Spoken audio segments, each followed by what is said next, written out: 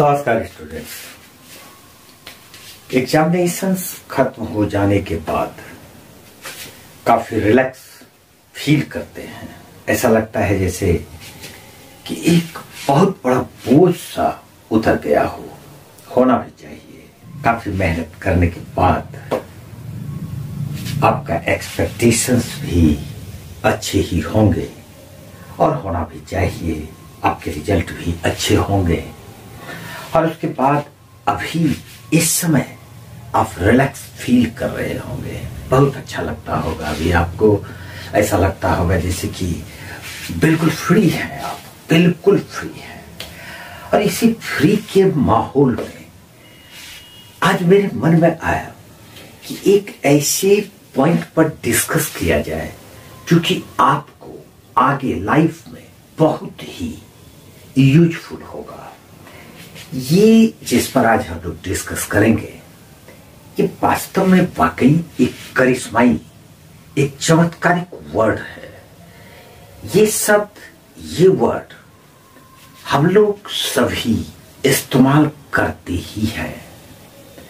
Students हो teachers हो, कोई भी हो, आम इंसान भी इस वर्ड का इस्तेमाल बड़ी चतुराई से करते हैं। और ये वर्ड क्या है? जिस पर आज हम लोग डिस्कस करेंगे। Trick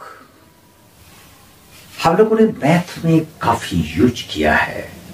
Trick to solve this question short trick useful trick important trick जिधर देखो ट्रिक ही ट्रिक है। ये ट्रिक क्या है? हम लोग जो यूज़ करते हैं, चलो एक एग्जांपल मैं देता हूँ। ये ग्लास है, जिसको हम लोग स्पेक्टिकल्स बोलते हैं, चश्मा बोलते हैं। इसका यूज़ क्या है? इसका यूज़ है डिफेक्ट ऑफ़ विजन को मिनिमाइज कर देता है।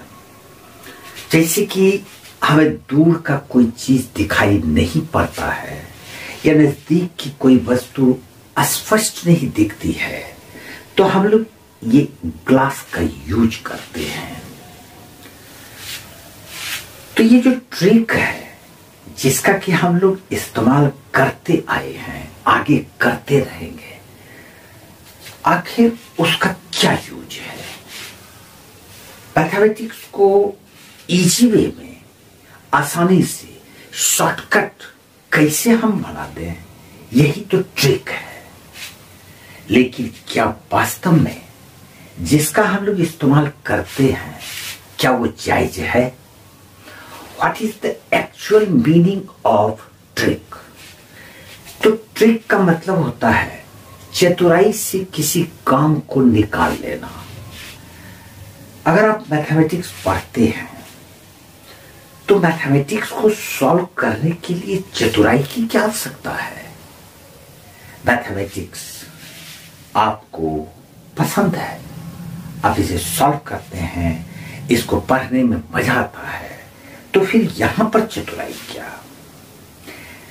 मैं मानता हूँ कि मैथमेटिक्स आप तभी अच्छी तरह सीख सकते हैं जब आपके पास कंसेप्ट होगा हम लोग मैथ्स को, उसके क्वेश्चंस को शॉर्ट ट्रिक से बना लेते हैं। कोई कोई क्वेश्चन आपने देखा होगा कि वो थोड़ा लंबा चला जाता है और किसी ट्रिक का इस्तेमाल अगर कर लो तो वो दो लाइन में ही बन जाता है। आपने कभी सोचा कि इस दोनों में डिफरेंस क्या है? एक पेज का एक क्वेश्चन है और उसी क्वेश्चन को हम दो लाइंस बना लेते हैं तो आप पसंद किसको करेंगे? 90 परसेंट स्टूडेंट, बल्कि 95 परसेंट स्टूडेंट दो लाइन वाले सॉल्यूशन को ज़्यादा लाइक करेंगे। करेंगे? आप सहमत होंगे इस बात से। काफ़ी टीचर्स भी इससे सहमत होंगे, बहुत सारे लोग सहमत होंगे। लेकिन मैं सहमत टोटली नहीं हूँ, क्योंकि जहाँ पर आप ट्रिक लगाते हैं, वहाँ पर आपका क्लियर कंसेप्ट रहता ही नहीं है। आप किसी क्वेश्चन को अगर सॉल्व करते हैं तो इस तरह से सॉल्व करें कि उसको कोई भी पढ़ ले तो वो समझ जाए। इसी को बोलते हैं मैथमेटिकल सॉल्यूशन ना कि मैथमेटिकल सॉल्यूशन वो सॉल्यूशन है कि किसी क्वेश्चन का सॉल्यूशन हमने बनाया और उसके सॉल्यूशन को सिर्फ़ हम ही समझ सकते हैं। कोई दूसरा अगर उसके सॉल्यूशन को देख तो वो नहीं समझ पाएगा। क्यों नहीं समझ पाएगा? क्योंकि वहाँ पर आपने ट्रिक का इस्तेमाल किया। तो ये है ट्रिक ट्रिक का इस्तेमाल करना चाहिए। कभी कभी हम लोगों को ट्रिक का भी यूज़ करना चाहिए।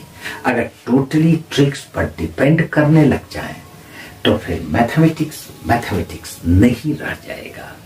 इसलिए कंसेप्ट को ही अपनाइए। अगर आपके पास कंसेप्ट है तो आप शॉर्टकट में भी उसको बना ही सकते हैं। अगर कंसेप्ट ही नहीं है तो फिर ट्रिक नहीं है। क्योंकि कंसेप्ट के बिना आप ट्रिक को ढूंढ ही नहीं पाएँगे।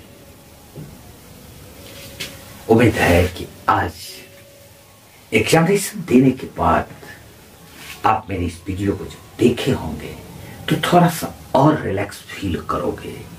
और मेरी बात को ध्यान में रखते हुए कंसेप्ट पर ज़्यादा ज़ोर दोगे, क्योंकि आगे अब आपका लाइफ डिसाइड करने वाला पल आ रहा है। इसको सही तरीका से इस्तेमाल कीजिएगा तो आपका लाइफ चकाचक हो जाएगा। जिसको हम लोग दूसरी भाषा में बोलते हैं लाइफ झिंगा लाला हो गया।